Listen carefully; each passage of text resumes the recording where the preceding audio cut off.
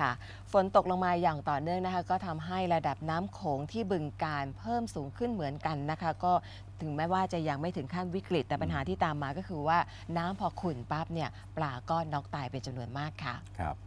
นายวัชระอุ่นใจครับชาวบ้านพันลำเจ้า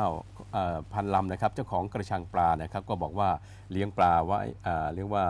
จำนวน 30 กระชังนะครับเป็นปลานิลนะครับกระชังละ 1,000 ตัว มีทั้งขนาดเล็กนะครับไปจนถึงปลาที่โตเต็มที่ขนาดน้ำหนัก 8 ขีดถึง 1 กิโลกรัม พร้อมที่จะจับขายกิโลกรัมละ 65ถึง70 บาทนะครับ แต่ก็มาเจอกับสภาพน้ำคงที่สูงขึ้นกระทันหันทำให้ปลานี่ตายไปแล้วกว่า 3 ตันคิดเป็นเงินราว 2 0 0 0 0 0 บาทเลยทีเดียวครับ ปลาที่ตายก็นำมาทำปลาร้าไว้ขาย หรือไม่ก็จำหน่ายในราคาถูกให้กับชาวบ้านเพื่อแลกเเพื่อลดการขาดทุน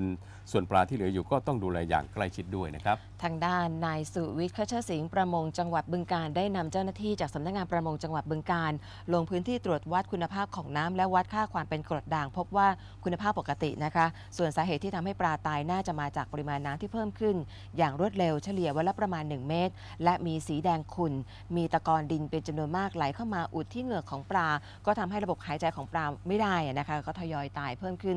เรื่อยๆ เจ้าหน้าที่ประมงได้ให้คำแนะนำแก่เกษตรกร โดยให้งดอาหารงดปริมาณการเลี้ยงลง เพิ่มออกซิเจนให้กับปลาให้มากขึ้น หากน้ำโขงลดลงภายใน 2-3 วันนี้ก็จะสามารถลดการตายของปลาลงได้ค่ะ